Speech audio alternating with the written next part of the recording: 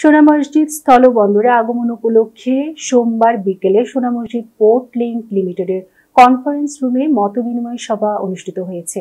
প্রধান অতিথি হিসেবে উপস্থিত ছিলেন ফেরদৌস ইসলাম জেসি, মহিলা আসন সংসদ সদস্য।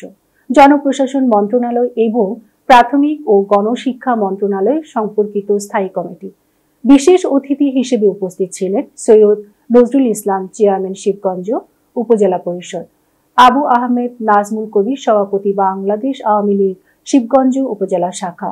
আতিকুল ইসলাম টুটুল খান সম্পাদক বাংলাদেশ আওয়ামী লীগ উপজেলা শাখা সহ আমদানি রপ্তানিকারক ও সোনা মসজিদ স্থলবন্দর সি এন্ড এফ এজেন্ট অ্যাসোসিয়েশনের প্রধান প্রতিনিধিগণ উপস্থিত ছিলেন।